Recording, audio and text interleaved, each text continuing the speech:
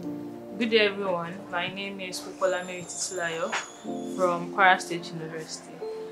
I am a finalist in the Department of Medical Laboratory Science and I'm here to give you all a tidbit about what medical lab science is all about. Medical laboratory science, so to say, is just the science of diagnosis. It is concerned with the collection of samples, examination, and diagnosis to tell your doctor what is wrong with you. Now, for example, when you go to see your doctor, you complain of what is wrong, and then they have an idea but they are not sure. So to confirm, they write out tests for you to carry out, which you bring to our lab. That is where we work, and then we we collect samples depending on the test that you want carried out and it undergoes some processing for us to know exactly what is wrong with you. Now, medical laboratory science is a part of healthcare that is not always seen. Most of the time, we are behind the scenes, and if you ask anybody, layman that are basically not in the healthcare services at all, majority of them don't know who we are or what we do in the lab. Now, the role of medical laboratory scientists is that we get, like I said earlier, we help your doctor help you. Now, how do we do this?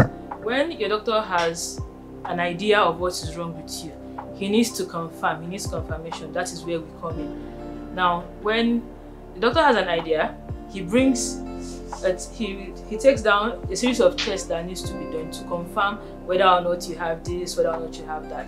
And then you have to bring the test to us, wherein we will collect your sample depending on exactly what it is doctor wants to find out. Now the sample collected is processed through different processes in the labs.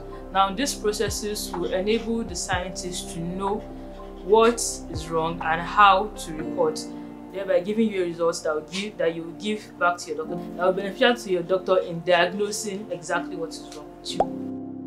The lab is a place that is equipped with various biomedical instruments that helps to examine and provide a diagnosis for a patient.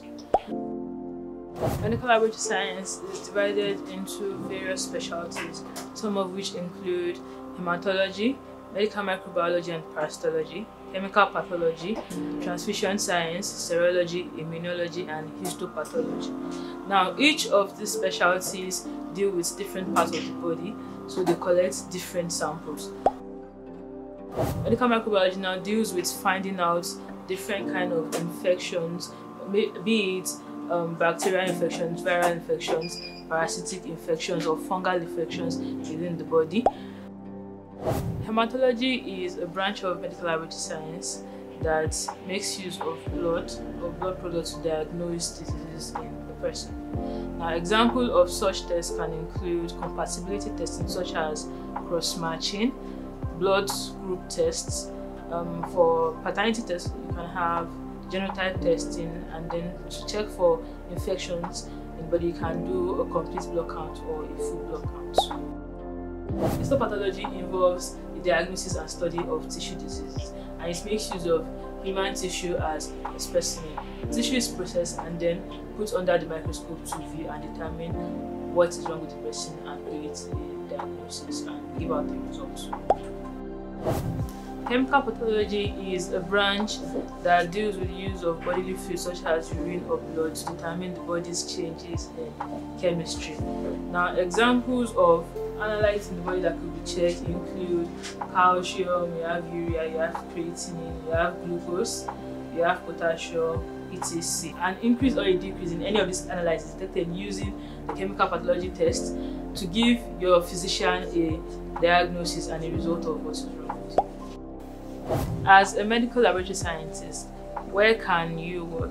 You can work in hospitals, we can work in research institutes, we can work with non-governmental organizations, we can work in private labs, we can also work in specialist diagnostic centers, and many more. We can basically work in any factor of the healthcare that deals with diagnosis and investigation. Laboratory equipment used in the lab include autoclaves, a refrigerator, a normal centrifuge and a micro hematocrit centrifuge, a full blood count machine, a microscope, a spectrophotometer, an incubator, a water bath, a flame photometer, an, an anaerobic jar, an anaerobic chamber, and many more.